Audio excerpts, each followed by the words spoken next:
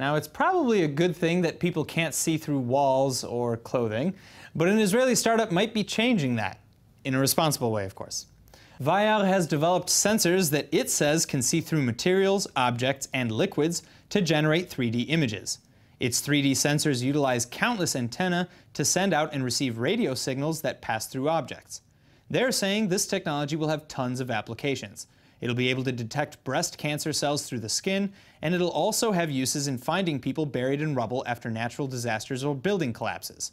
While X-ray and MRI machines cost hundreds of thousands of dollars, Vayyar devices could be cheap enough that every doctor could have one in their office, making for easy, quick, and painless breast cancer screenings, among other things. Beyond that, Vayyar devices could replace security cameras in some environments too. It's a very exciting new technology.